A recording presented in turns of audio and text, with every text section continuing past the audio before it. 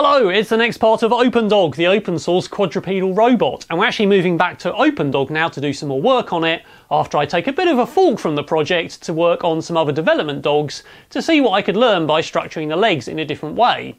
Now, this project's been going on for a while, it is an ongoing development project, and initially I thought four legs would be easy to make it work. And that's because basically I made a couple of two-legged bipedal walking robots, both my Star Wars Gonk droid, which worked pretty well, that was entirely 3D printed, and then I moved on to build Robot X, which had some metal in it, and lots of 3D printing and various actuators that I bought.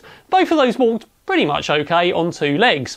The only thing I didn't take into account, of course, was those robots had quite big feet, and Open Dog doesn't. It has paws that it has to balance on. So if it takes more than one leg off the ground at a time, then it actually has to balance on the other two legs. In terms of OpenDog development, this robot has three motors in each leg, so that's 12 motors in total, and there's a kinematic model that changes that complicated geometry into Cartesian coordinates. So essentially I can position each foot in X, Y and Z positions, and that means the robot can move in unison so that it doesn't tear itself apart, because it's quite powerful. We can demonstrate that with the six axis of motion, which are three rotation and three translation axis. I also have some interpolation, which means I can move those joints, or those feet at least in straight lines through space from point A to point B by interpolating through all the positions on the way.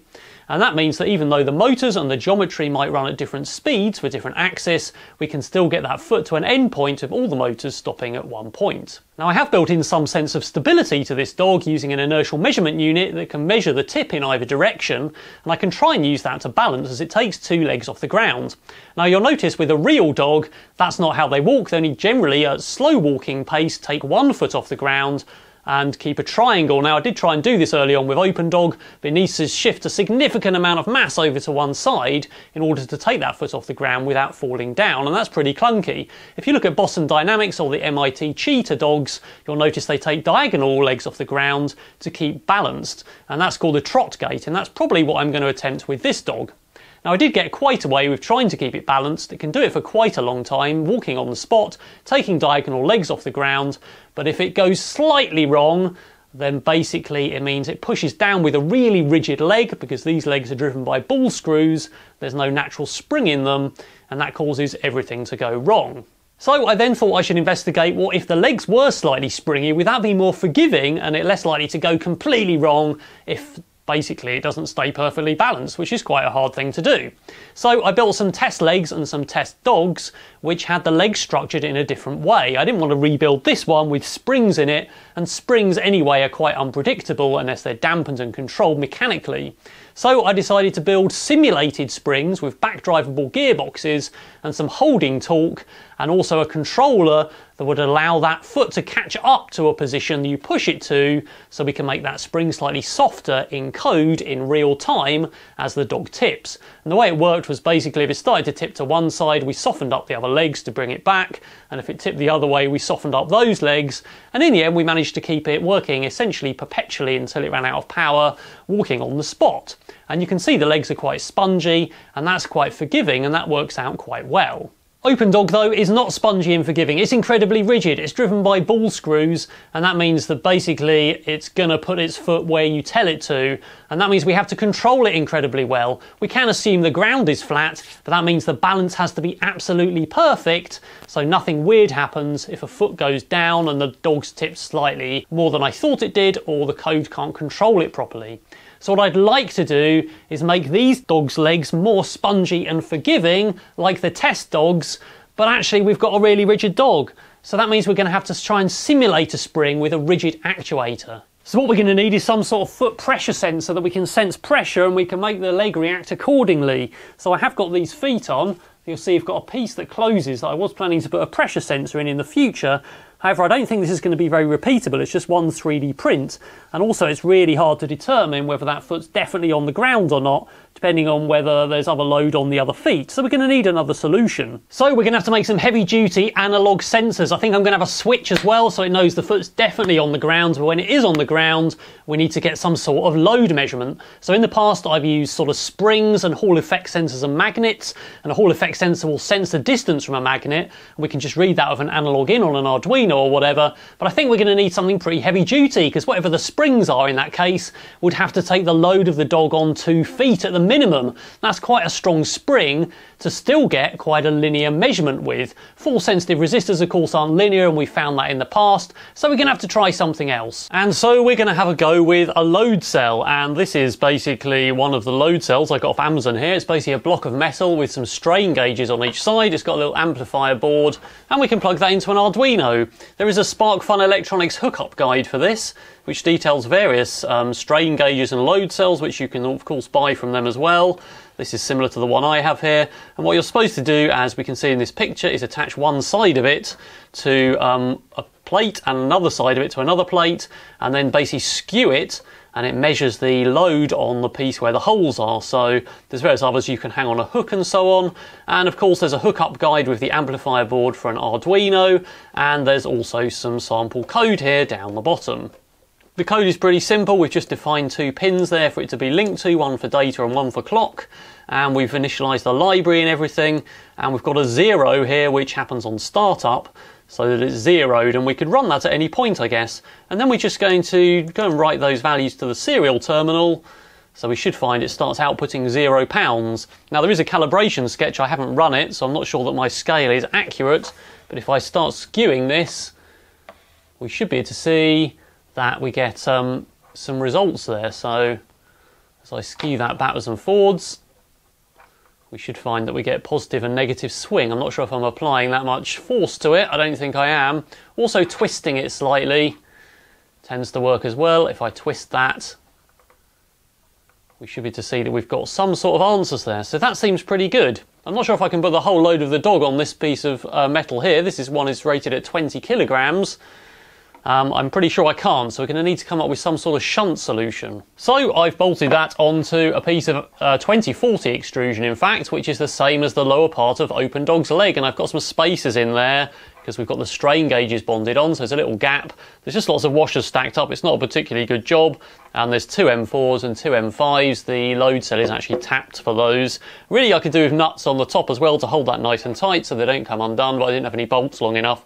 But it'll do for now. In my code, I've changed the calibration factor to 50 from minus 7050, which is uh, or 70,050, which is where it was before. And apart from that, I've done nothing. And this scaling factor gives it a much more sensitivity, so we get much higher values. So now if I bend this whole piece of aluminium, we should be to see we get um, a really big value then. If I bend it the other way, of course, it goes negative. And of course, this bit of aluminium is really rigid, so hopefully it will never creep. I've not noticed these bending in OpenDog, so they support the weight of the dog okay, but it doesn't put all the load onto the load cell or the strain gauge there, so we can see we get that value. But it's unlikely this is going to get deformed, hopefully, as long as this is rigid, which it pretty much is, and we already know that takes the load of the dog. So, of course, we could just get those and put them on each leg. That's exactly the same as the lower leg of OpenDog, so we could put that down there. That would fit nicely in between the pivot points and the foot that we've got on there, and then we can measure the pressure on each foot, and we can make the legs react accordingly. What I really want to do though is be very sure that the foot is on the ground or not on the ground. So I'm going to make a new foot that's actually got a physical switch in with a spring that doesn't have to be very strong that springs that switch open. So when it is on the ground, we know it definitely is and we can start measuring that force. And when it's off the ground, we just ignore the data. And we can also use that to calibrate the zero point because we know there's no load on it. So I've taken the old foot design and designed a completely new foot. And this is different because instead of one piece with a flexible section, we've got two pieces with an actual pivot in there. So there's a joint and that will allow the foot to open and close. Of course with the weight of the dog on it, it will close right up to its end stop and that will switch the switch. And without the dog, we can put a spring in to push it apart. Now I've left the same space for the flexible Ninja Flex filament to be fitted in there, and hopefully that should actually act partially as the spring and to also stop that foot falling completely open. So let's get those printed and see how well it works.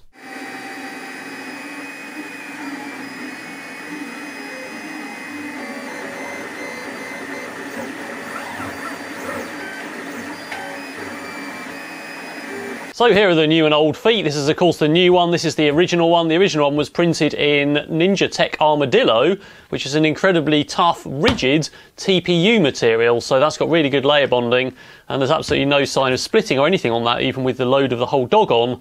The dog weighs about 50 kilograms. So this one is just prototyped in PLA. I'll probably go on to print it in Armadillo again, but for now this will do for testing. So of course we've got that pivot in there and as I mentioned, the whole thing will just fall open. So I'm going to get the Ninja Flex flexible strip out of here, screw that back in here, and see how that performs. I've installed that piece of Ninja Flex around there, and that's screwed on the front and the back, so that now helps act a bit like a spring and it stops it falling back a bit but not quite enough really. So I need to constrain that a little bit more. When the dog picks his feet up I put some screw holes in here. So I might just put um, a piece of elastic or something around the leg for now. This is only the prototype in the proper one I might do something else like a hard end stop on the front where this gap is so I've installed the switch as well as you can see there and that's the hard stop so the force isn't on the switch itself, it's on the back of this because it can't shut anymore. So that'll tell me when the foot is definitely on the ground. And that works of course from any angle that the foot comes down. So that seems to be pretty good. And of course the dog's leg fits in here with the load cell on the leg there. So then once that switch is pressed, we can start measuring that analog sensor. So I've now got my leg built with the actual piece of extrusion from OpenDog with the load cell fitted with nuts on the top and I've got the switch fitted which is now going to a Teensy 3.2 uh, which is going to run all the data from this. I've had to change the amp board here. The original board would only give me data around 11 times a second so I've upgraded that to a SparkFun NAU 7802 which will go up to 320 times a second and it's an I2C device which is a standard interface. The code for that's pretty simple. We just use the library and to read the raw data we just do my scale get reading. Now I've done some thresholding here and I've also taken into account the switch that we've got installed so we don't get any value until the switch is pressed. We can also use that switch of course so we know when the foot is on the ground and perhaps do a zero calibration of the whole thing. In the serial monitor we can see the switch value and we can see the reading. So if I bend this leg without the switch pressed we get nothing until the switch is pressed and then we get some sort of value. At the moment I've throttled it to 200 samples a second, but that seems pretty responsive. Let's have a look at a serial plotter. So we can see that's a bit spiky, it might need filtering, but overall we get a good range of values. So it looks pretty hacky, but I've just attached everything to the leg here so we can do some testing. Of course, this whole project is R&D really. So that's my load cell there. We've got that switch in the foot. We've got the amp board and we've still got a Teensy 3 here on a piece of breadboard. And the reason for that is that we can't readdress the I2C address of these amp boards, unfortunately. So we're going to need a kind of shim microcontroller that deals with this. It could also deal with zero calibration on startup each time, etc. And then that's going to send the data over to the main microcontroller for the dog. And that part is really hacky as well. It's on this grey cable that's just temporarily looped all the way up here. This is a shielded cable. Ideally, I need some sort of data interface that would actually send data from one Arduino or one Teensy to the other but I'm out of serial ports. What I really need is CAN bus, which I need to investigate and I've never used before. So for now, I'm sending the data, well, as PWM. So I'm actually writing out a PWM signal on the Teensy down here and reading it back in with interrupts on the Teensy 3.6 in the dog. So what we're now looking at is a graph of the actual load cell there, of course, working quite nicely. And that data is coming off the Teensy 3.6 in the main dog body having been sent from the teensy on the leg all the way over with PWM, and I'm reading that signal as I say with interrupts, so we've got quite an accurate um, responsive answer there, which is quite good. And obviously, when I let go of the switch, it drops back to zero. So that seems to be working pretty well. But now let's see if we can make the leg respond. So unfortunately, as you can see, now I've powered the motors up. Uh, what we've actually got I don't know if you can even see the data there, is a really bad uh, spiky signal, which is basically down to these motors being high power three phase motors, even just with holding power on. In fact, if I move the motor, we can see extra spikes on the signal. Great, uh, and that's basically inducing some voltage, of course, into the uh, signal wire there. Despite it being shielded, obviously that's not enough to help me. So we really are going to have to investigate some sort of other data interface here because this really, really is useless data now. Um, obviously due to the motors being powered up and the crosstalk in the cables. Obviously if I power off the brushless motors, then everything's good and it's back to normal again with the proper signal. So we can see how high those spikes are actually relative to the spikes that we've got now. We'll let the uh, serial plotter rescale itself yeah, so that's back to normal now. So they really are big spikes there, even bigger than the signal that I should normally be sending. So, sorry this video is not more exciting. I was hoping to actually have that leg at least responding, so next time we could do it to all four legs and hopefully make the dog more dynamic. We're going to have to investigate CAN bus, which is a differential signal, and that's used in automotive applications, so it should automatically cancel that noise out on the line and give us much better data, and that's a much better way to do things anyway. That is something I've not looked at before, so I'm going to have to investigate that in the next video, and we'll come back and hopefully work that in. Now, lots of things in this project. It is an ongoing R&D project. We're on about part 20 here. A lot of those things have been used in other projects, so I've learned quite a lot going along doing the project as I've done it. So the brushless motors and ODrives and all of that have been used in performance robots. The first order filter that smooths out and makes all the motions smooth has been used in multiple other projects, as well as obviously CNCing aluminium and the mechanical construction and everything else. So load cells, they'll definitely be used in other projects. That looks like quite a way good way to do things, to do force-driven joints and to make things dynamic. And of course, CAN bus will be as well. So that's a really good thing to investigate at this point. Not only will it benefit this project, but it will benefit other projects in my channel. So don't forget to subscribe for more updates on this and lots of other ongoing projects. If you want to support the channel, then please look at my Patreon. It's patreon.com slash xrobots. And also have YouTube channel membership if you don't like Patreon. And of course, I do have a merchandise store. I do have new Performance Robots t-shirts, which have just come out, as well as the good old favourite Open Dog, and also have mugs, bags, stickers, and various other products. Alright, that's all for now.